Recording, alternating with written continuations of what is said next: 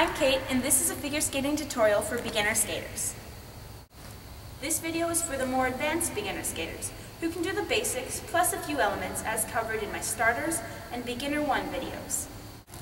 Elements I've grouped in this level will be performed and explained in order to allow you to identify the moves and even try them yourself.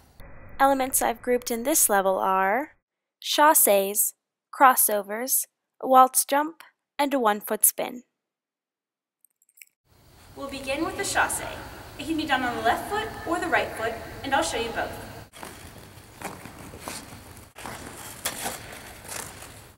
A chasse is really just a stroke, lift, stroke. Or as you progress, it'll be more like a push, lift, push. A helpful tip while doing chasses is to keep your knees slightly bent. A chasse is two things you can already do. A one-foot glide and stroking. To begin, get some speed by stroking. I'll show you my left chasse, then my right. To do a left chasse, stroke forward on your left foot, then put your right foot back down as you lift your left foot. After the left foot is lifted, put it back down with a stroke. So it's left push, lift, push. For a right chasse, it's the same, just switch the feet. Again, you begin with some speed, and then you do the chasse. So right push, lift, push. Right push, lift, push. Left push, lift, push. I'll now teach you crossovers. These are essential and are very frequently used. Crossovers can be done clockwise or counterclockwise, forwards or backwards. I'll reiterate that it is important and helpful to keep a slight but constant knee bend. Crossovers are easiest learned on a circle, or a curve, and that's how I'll show you. We'll start forwards and counterclockwise. A crossover is just a push and a cross. To start, position your arms over the circle, hugging it, as I'm doing. Stand on the circle and begin with the left foot stroke. You now sweep your right foot across the front and cross it over your left. Next, you simply pick up your left foot and begin again with a push, cross, push, cross.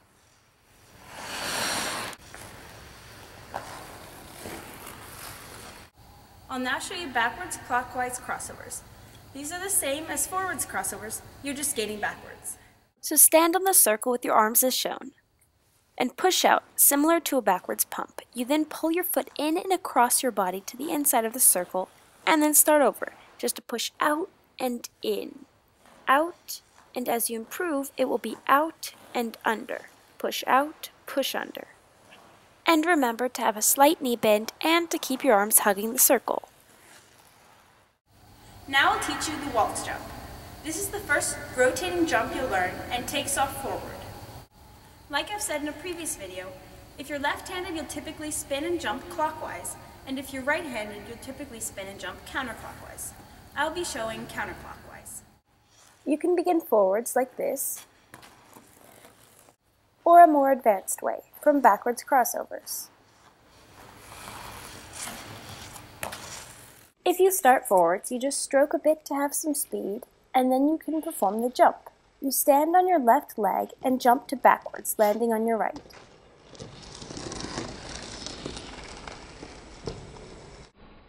So push off the left foot into the air, turning left and land on your right with a bent knee and exit your jump as shown with arms out and left foot behind you. Your arms in a waltz jump and all jumps you'll learn if you continue skating are important. In this jump, as you take off, your arms come forward and meet in front of you like you're holding a beach ball. Then as you land, your arms come out. I'll also show from crossovers for those who are interested. So, on a curve, you do backwards counterclockwise crossovers. You then step forwards to the outside of your circle on your left foot and proceed with the jump, same as before. And ta-da, your first real jump. The last move I'll show you is a one-foot spin. At a beginner level, you may wish to start for like this. Forwards and from a pivot.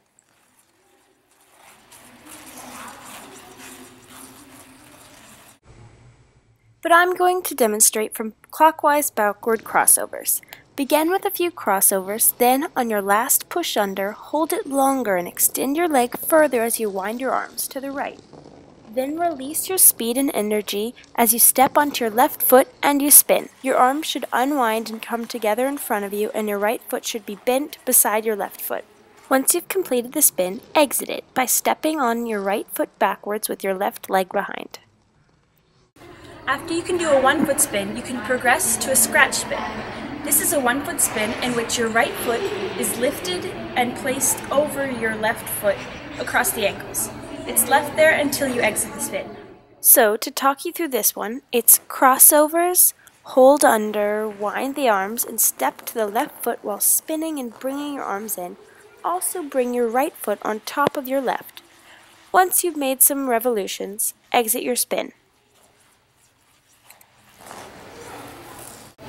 Well, those are all the beginner two moves I have. Thanks for watching, and I hope this video helped you.